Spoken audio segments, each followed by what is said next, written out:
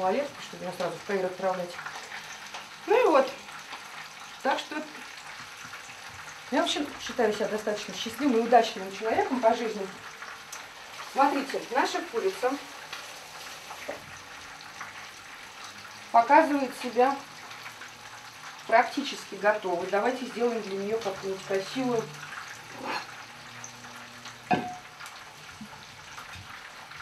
подачу. У нас есть что? У нас есть лоток чистенький, хорошенький. Да, мы его так выложим.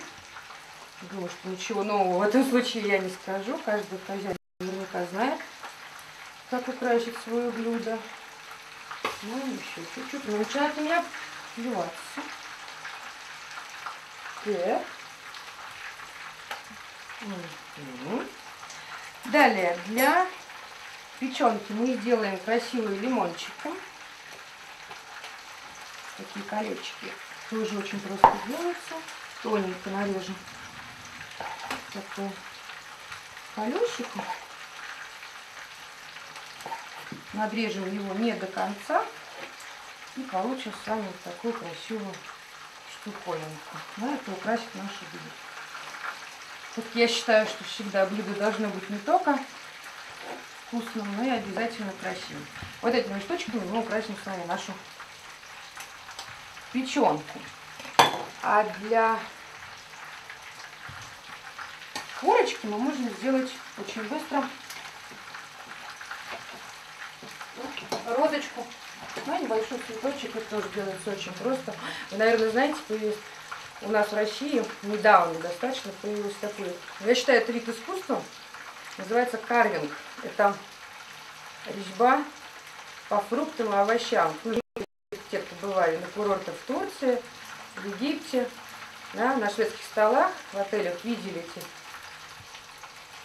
изумительно красиво нарезанные, даже не нарезанные, а вырезанные скульптуры из целого арбуза, из целой тыквы.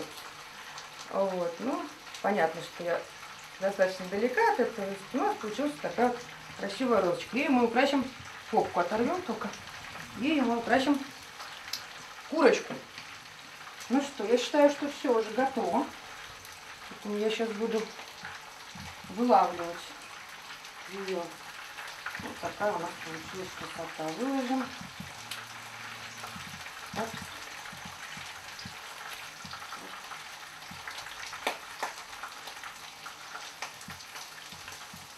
Если была возможность такая собирать запахи, да, как в фильме «Парфюмер», выпускать аромат вот этой курицы и вот того, что будет готовиться следующего, да, вот этой печенкой, ой, мы бы стали богатыми. Прихвачу, наверное, люка, потому что это сумасшедший аромат.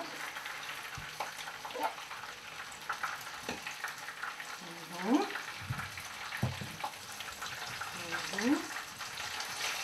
Угу. Все такое красивое. Понятно, что кто-то может сказать, что эта пища далека от понятия здоровой фитнес-еды. Я с вами спорить не буду, я соглашусь, но иногда можно себе позволить есть не только вкусно, наоборот, есть не только полезно, но и вкусно. Вот смотрите, что у нас получилось. Такая вот красотища. Розочку. Эч. Эч. Горячо. Я думаю, что вот кудрявая, очень красивая петрушечка тоже составит ей такую изумительную компанию. У нас готово первое, второе блюдо. Отставим его немножко сюда. Ну и все, наступил очень ответственный момент. Жарим печенку. Подожди, я сейчас это вылью все. Давай пока. Тихо, сейчас. Шипеть, орать на меня.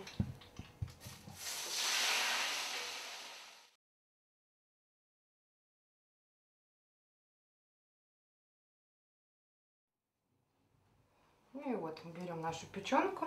Не нужно добавлять много масла, да, тем более у нас тефлоновая сковородка. Наша основная задача обжарить ее очень быстро. Сейчас она будет шипеть. Сопротивляться.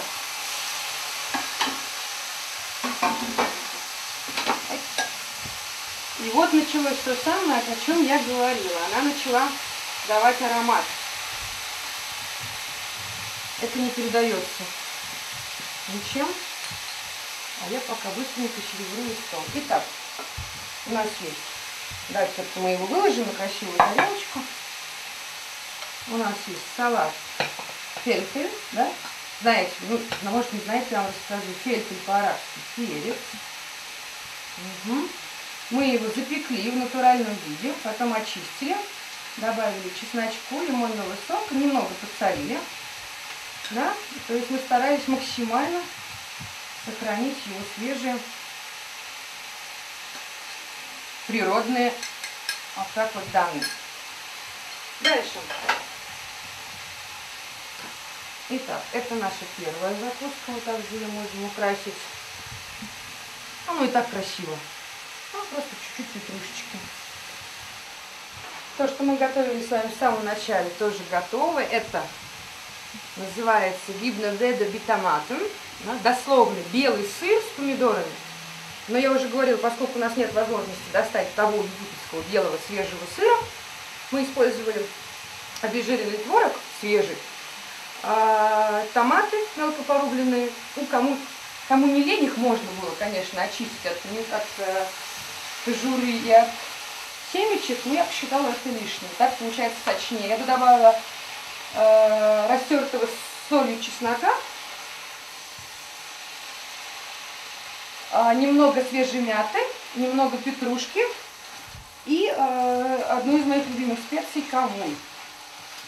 Сейчас у нас печенка уже практически готова. Далее. Трудоемкая, но очень красивая на выходе блюдо.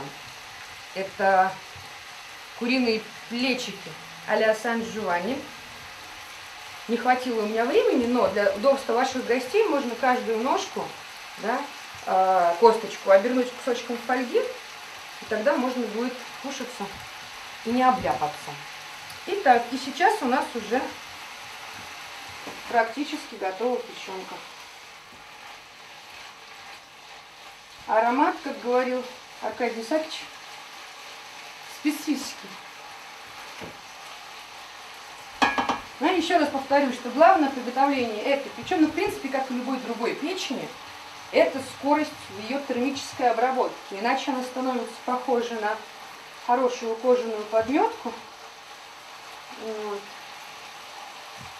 Вот. Свою печенку я больше мучить уже не буду, она готова.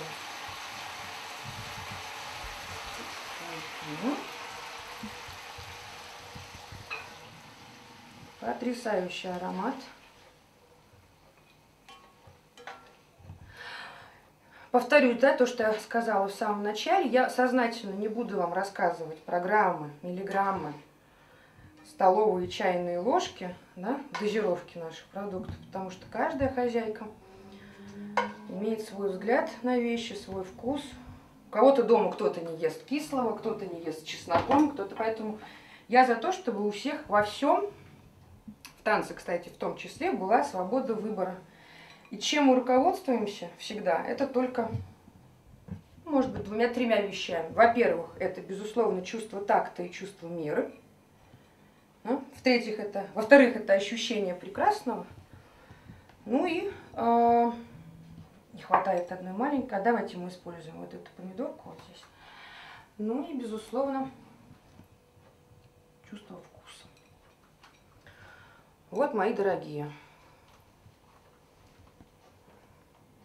Ничего красивее я в жизни не видела.